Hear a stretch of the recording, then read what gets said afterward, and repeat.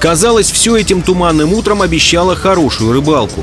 2 сентября в Баранку запустили без малого тонну крупного карпа, доставленного спецрейсом из Курска. Стояла самая что ни на есть клевая погода. Тихая, пасмурная и достаточно теплая. А вот клева-то как раз и не было. 132 участника соревнований не часто хватались за удочки, дождавшись редкой поклевки.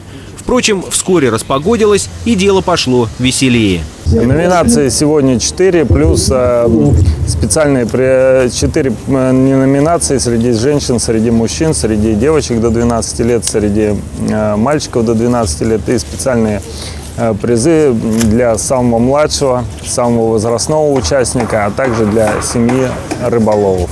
Призы нам помогли и предоставили наши партнеры компания «Волжанка». Они традиционно поддерживают наши соревнования. В итоге карп за время соревнований был выловлен всего один.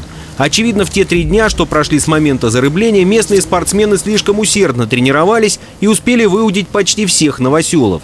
А может, просто не пришла в это туманное утро на берег Баранки рыбацкая удача. Победители определяли по весу пойманного и числу хвостов.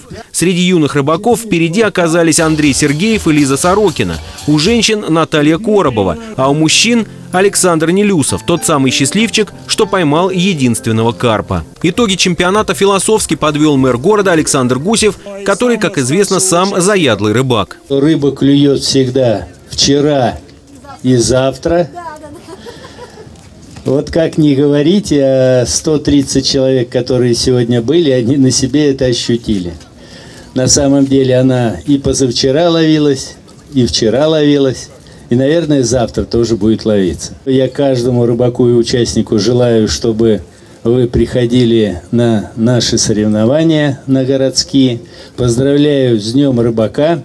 Удачи вам, хвостов и хороших килограммов рыбы пойманным на этом пруду и на других водоемах. Петр Горохов, телекомпания «Одинцова».